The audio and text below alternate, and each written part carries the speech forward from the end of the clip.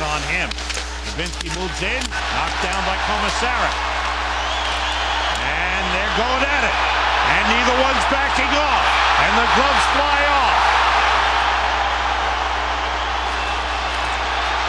Oh boy.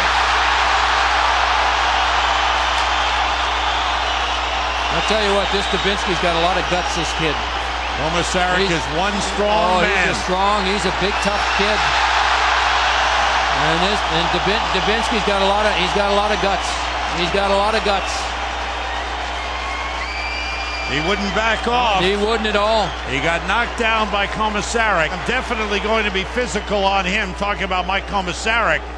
I'm not going to let him off the hook ever. He's definitely going to be hearing it from me if he's taking any liberties or cheap shots. Well, here's the initial hit first on Jagr, and then on Dubinsky as he gets in, and there it is.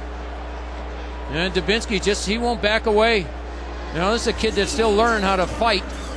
But you talk about somebody that's willing and to do anything for the team. I mean, he just, you know, I mean, he just he took a beating on this one, but you know, got up and went to the bench and in